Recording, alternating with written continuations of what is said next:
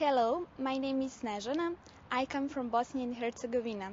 I'm 16 years old and I'm the youngest contestant. Uh, I go to a third class of high school. I'm an excellent student, and in my future, I want to be a graduate pharmacist and a successful model. It's my first time to be in China, and I'm very exciting. Thank you.